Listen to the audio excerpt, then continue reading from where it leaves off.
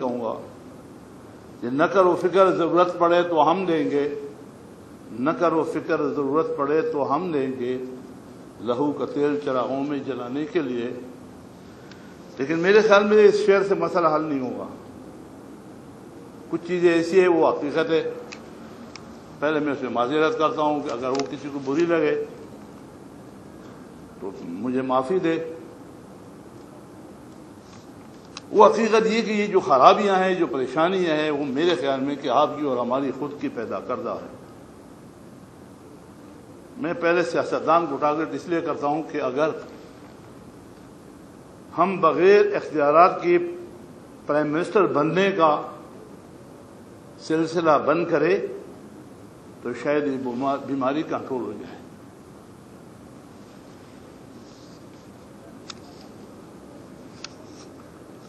Media के मसाइल पे और इसका हल। आप हल जा रहे तो वजह इसकी कि मैं आपको पार्टी और सियासी तकरीर अपनी अच्छाई दूसरे की बुराई करूँ, इससे बेहतर कि मैं आपके मसले का हल जो मेरे कम पहम, कम सोच में है, वो बता दूँ।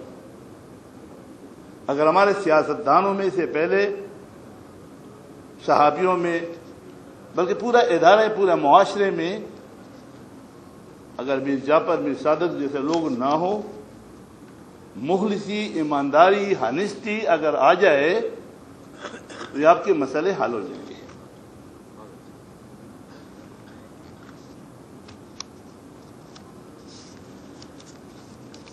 मुसलमान जब जंग जीत गए और जब माल गनीमत पे अटैक करके, फिर भारी नुकसान उठाया था। अगर हमारे सियासतदान और सहाफ़ी अपनी जाति मफाद या अपने पार्टी का जाति मफाद छोड़ दे और पाकिस्तान के मजबूती के लिए इकदाम और फैसले करे तो ये पाकिस्तान बन जाएगा। पाकिस्तान नाम का तो बना है मगर एक कौम नहीं बना। हम एएनपी पीपल पार्टी जुमात इस्लामी ज़रूर बने। हम पख्तून, पंजाबी, पठान और बलोच उर्दू स्पीकिंग ज़रूर बने, मगर कौम नहीं बने। सहाबत का काम क्या है? हक और सच्चाई को बयान करना और साथ साथ नाहक और बुराई को हाईलाइट करना, ये दो काम हक और सच्चाई को उजागर करें ताकि लोग देखें और वो भी उसी भी चले। और नाहक और बुराई को इसलिए उछाले, इसलिए उठाए, इसलिए पॉइंट आउट करे कि वो लोग न करे, वो बुरी चीज़ें, उससे नफरत करे। पहले जमाने में जब रिश्ते होते थे तो लोग एक बेटी, बहन का रिश्ता करते हुए खानदान के बारे में पूछते थे कि कैसा खानदान है। लेकिन अब ये नहीं पूछा आप पूछते कि कौन सी नौकरी में है और कौन सी कस्टम वाली है और या पुलिस वाली, कौन सी वाली है। ये वो फ़र्क है। जो कंप्यूटर की वजह से बहुत बड़ी नॉलेज बढ़ गई। लेकिन वो सादगी मुखलसी गरीबी, मोहब्बत, भाईचारा, वो इन्ना राजीव वो नहीं। अगर आप सहाबी भी अपने हक और अच्छाई को उजागर के बजाय नाहक को हम पे मुसलत करेंगे और बुराई को आप हाइलाइट लेंगे और अच्छाई को आप सजा के दिखाएँगे। अच्छाई को दबाएँगे और बुराई को आप हम पे मुसलत करवाएँगे, उनकी तारीफ़ करेंगे और पूरा चैनल बंद करके सिर्फ़ अल्ताफुद्दीन की तकरीर सुनाओगे। तो माशरा कौन से करेगा? आपकी मसाइल कैसे हल होंगे? इसका मतलब है कि बुनियादी तौर पर तो आप भी अपने इदारे से अब सहाबत से मुखलिस नहीं हो। और जो मुखलिस था, हामिद मीर का क्या हुआ? कितने आपके सहाबी जो उसको अल्लाह ने दो दो, तीन तीन ज़िंदगी दी, अल्लाह ने बचाया, और कितने शहीद हो गए? वली बाबर का क्या कसूर था? बताए ना। तो अगर सच्चाई की सजा मौत है, और आज तो मैं ये समझता हूँ कि खुशी का दिन है। इस बात में कि आज तक जितने भी लोग थे,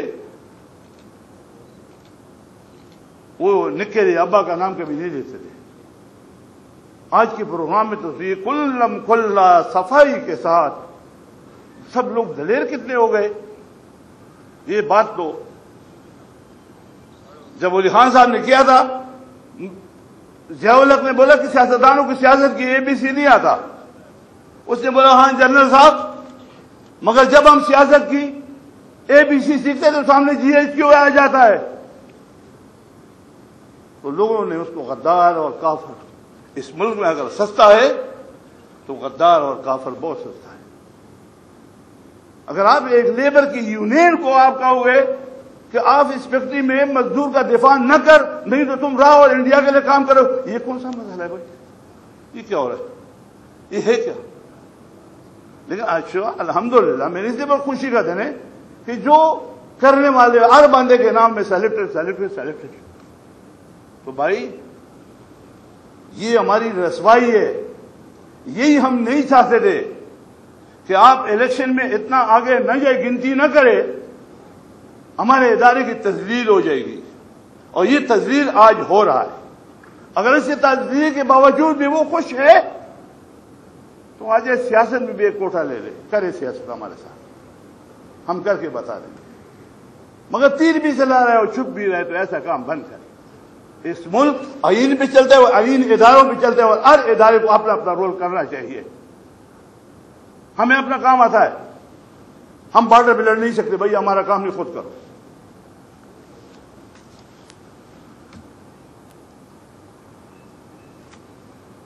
एक बंदे ने बताया कि ये काम जिम्मेवारी जो आपके मसाइल के तीन रियासत है, हुकूमत है और मालकान है। तो मैं तो इसको, मेरा ख्याल थोड़ा आसान कर दूँगा कि हुकूमत बैठे बैठे यहाँ पे हुकूमत के लोग इसको कमाल कहते हैं। हुकूमत के लोग भी डिमांड करते हैं कि इनके फक इनके हक इनके हक इनको देना चाहिए। तो हुकूमत को तो डिमांड करने की ज़रूरत देने की ज़रूरत है। ये तो ऐसे कि जैसे मेरा मुलाजिम हो और मैं मस्जिद में ऐलान करूँ कि मेरे मुलाजिम को कोई तनख्वाह दे रहे, भाई जुलम न करे। उसकी ड्यूटी है। हम पे एहसान न करे। सबसे पहले इस शर्त को तो खत्म करे कि इनके बकायजात आज अदा करे, ताकि कल ये मीडिया वाला मालिकान के पास जाके उसको बोले, भाई हमारा पैसा अब क्यों नहीं देते हो? ये तो मामूली मसला है। मुझे शायद शायद हम भी अगर हुकूमत में आ गए तो फिर हमारा भी ये रवैया होगा। जो हुकूमत में आते हैं लैंग्वेज एक होता है, जब अपोजिशन में आते हैं तो फिर वाह वाह। लेकिन ये जो नामालूम नामालूम लोग कहते मैं समझता हूँ इसको नामालूम मार्शल्ला क्यों ना कहे? मौजूदा नामालूम मार्शल्ला है। प्राइम मिनिस्टर प्राइम मिनिस्टर नहीं है वज़ीर वज़ीर नहीं है। लगे हुए। सिर्फ़ झंडा और गाड़ी मिला हुआ पेट्रोल मिल रहा है, तनख्वाह मिल रहा है। काम कोई और कर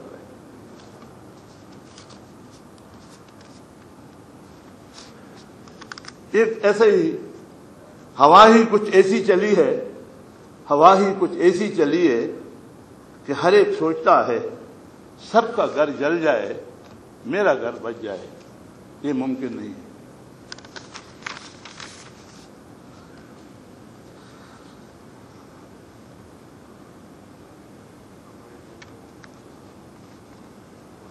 मसाइल इस वक्त कोई भी शऊर वाला बंदा हो तो उसकी मसाइल है। और अगर नहीं है तो उसको मजनून कहा जाए। वो फिर मजनून है। उसको पता ही नहीं कि हो क्या रहे इस वक्त हर तबके हर कम्युनिटी के, हर इधारे के, हर इंसान अगर कल को सोचना है और आज शाम के लिए सोचना है, अपने बच्चों के लिए सोचना है एजुकेशन के लिए सोचना है, मुल्क के लिए सोचना है, हरियाली के लिए सोचना है, वबा की बीमारी के लिए सोचना है तो हालात कुछ भी ठीक नहीं है। हाँ कुछ एक तबका हमारे मुल्क में ऐसा है कि उसको वैसे तो पीटीआई कहते हैं लेकिन है वो मजनून। और वो इस चीज़ से ना खबर है कि पेट्रोल महँगा होता है, गरीब पे क्या गुजरता है। अगर गंद महँगा हो गया तो चावल का ले बिस्किट का ले अब ये भी अल्लाह का करना था कि हमें ये वो वक्त देखना पड़ा। हम इसमें से मेरे एक मतलब ज़ुबान किया था कि मैं इलेक्शन लड़ रहा हूँ, अगर मैं इलेक्शन हार गया तो मैं सियासत नहीं करूँगा। बजाय इसके ये मुझे याद करे तो मैं खुद याद कर रहा लेकिन जब इलेक्शन हुआ, और मैंने पठान की तो एक ही बात होती है तो मैंने ज़ुबान किया था तो मेरे में सियासत जोड़ता हूँ। तो मुझे किसी ने कहा कि आप इस इलेक्शन को मान गए, इसका मतलब है। जिसकी वजह से आप, मुझे दोबारा इंटरव्यू में बुलाओ तो मैं आ जाऊँगा। आप घबराना मत। हम इस इलेक्शन को नहीं मानते। बाकी मैं आप सबका शुक्रिया अदा करता हूँ। ये तय दिल से कहता हूँ कि मसाइल आप लोगों में खुद है। मीर जापर मीर सादक काम में है। हम में भी है। अगर आप अपने इरादे मज़बूत करें मुनाफिकीन जो भी डिपार्टमेंट में है महकमों में है इदारों में है उन मुनाफिकों से बचे। आपके मसाइल हल हो जाएँगे। आपके टीवी के आपस में एक एयर वाई पे जाओ तो पाकिस्तान हरा भरा जीव पे जाओ तो पाकिस्तान डूब गया। ये टीवी के चैनल बिक गए। अब बिके नहीं। मैं नहीं बोला कि बिके, लेकिन बिके। आवाम कहता है, ये सरकारी टीवी हो गया, ये प्राइवेट टीवी हुआ ये हुकूमत के लिए काम कर रहे हैं। सहाबी ऐसे हो रहे हैं। सहाबी भाई परिश्ता है। अगर वो अपना ड्यूटी सही कर रहा है, खुदा की कसम वो परिश्ते के बराबर है। वो अपने बच्चों को यार एक दहशतगर्द को, एक जवारी को, एक चर्च बेचने वाले को, एक माफिया का नाम अगर वो उठा के लेता है तो वो अपने बच्चों की कुर्बानी दे रहा है। इस सारे इस सहाफियों को, इदारियों ने, इदारों ने नहीं मारा।